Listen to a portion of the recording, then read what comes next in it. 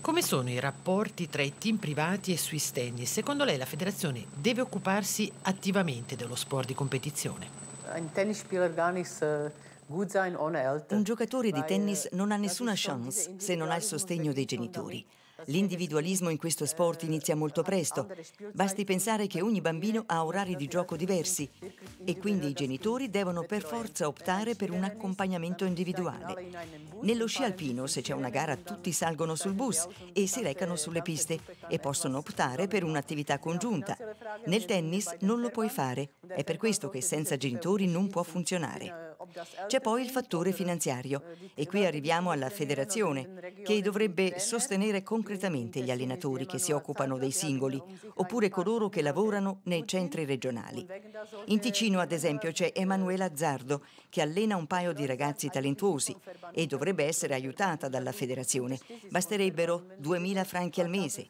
Non è normale che Emanuela debba ancora fare la maestra di tennis per poter sopravvivere e allenare i talenti non è un problema limitato al Ticino. Lo dico da vent'anni, ma non cambia nulla. Lei chiede quindi un sostegno per gli allenatori, ma non per i giovani talenti. Esatto, gli allenatori di successo devono essere sostenuti. L'allenatore di un ragazzo che raggiunge le semifinali o le finali ad un campionato svizzero deve essere aiutato.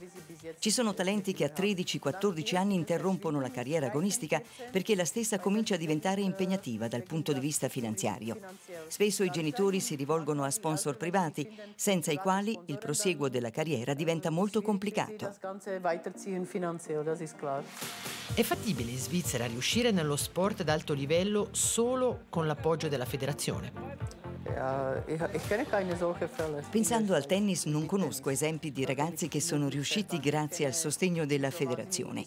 Non conosco esattamente il percorso di Federer, che si è allenato al centro di Bienda quando aveva 14 anni.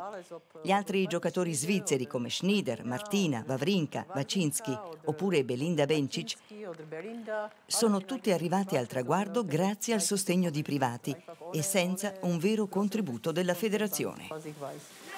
Cosa pensa la federazione di tennis delle sue idee? Non penso che mi ascoltino, non ci parliamo. E cosa fare per migliorare questa collaborazione? La federazione dovrebbe iniziare ad interessarsi alle mie idee. Per fare questo ci dovrebbero essere meno persone. Secondo me i soldi che sono investiti a Vienna dovrebbero invece essere suddivisi nei vari centri regionali, ma questo non lo faranno mai. Non c'è interesse.